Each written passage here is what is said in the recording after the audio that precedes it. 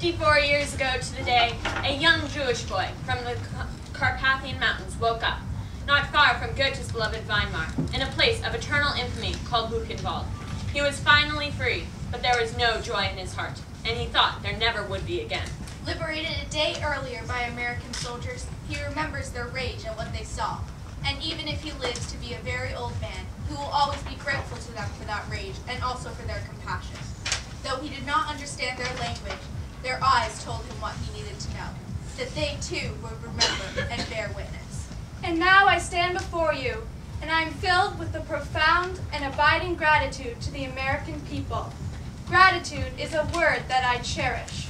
Gratitude is what defines the humanity of the human being. We are on the threshold of a new century, a new millennium. What will the legacy of this vanishing century be? How will it be remembered in the new millennium? Surely it will be judged and judged severely. These failures have cast a dark shadow over humanity. Two world wars, countless civil wars, the senseless chain of assassinations.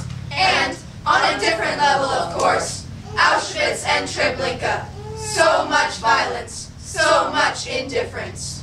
What is indifference? Etymologically, the word means no difference. A strange in which the lines blur between light and darkness, dusk and dawn, crime and punishment, cruelty and compassion, good and evil.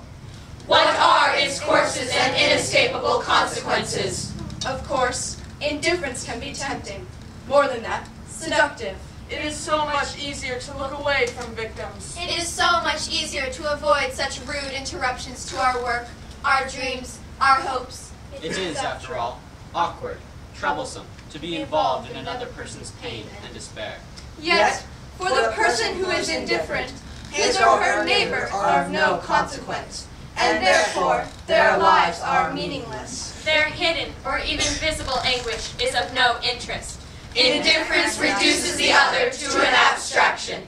Over there, behind the black gates of Auschwitz, the most tragic of all prisoners were the Musselmänner, as they were called.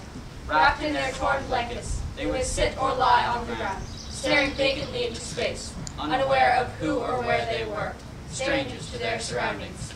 They no longer felt pain, hunger, thirst. They feared nothing. They felt nothing. They were dead and they did not know it. Rooted in our tradition, some of us felt that to be abandoned by humanity then was not the ultimate. We felt that to be abandoned by God was worse than to be punished by Him. Better an unjust God than an indifferent one.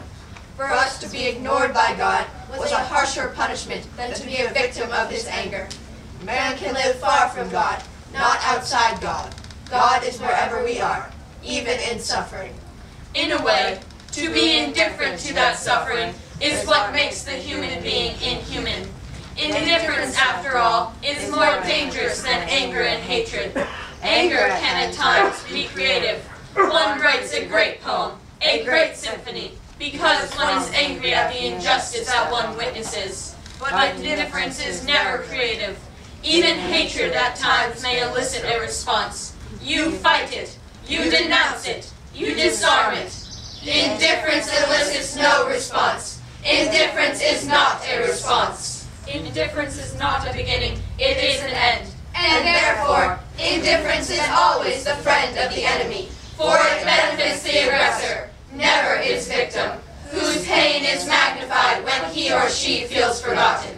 The political prisoner in his cell. The hungry children, The homeless refugees. not to respond to their plight, not to relieve their solitude by offering them a spark of hope, is to exile them from human memory. And in denying their humanity, we betray our own. Indifference, then, is not only a sin, it is a punishment. And this is one of the most important lessons of this outgoing century's wide-ranging experiments in good and evil. And so, once again, I think of the young Jewish boy from the Carpathian Mountains. He has accompanied the old man I have become throughout these years of quest and struggle. And together, we walk towards the new millennium.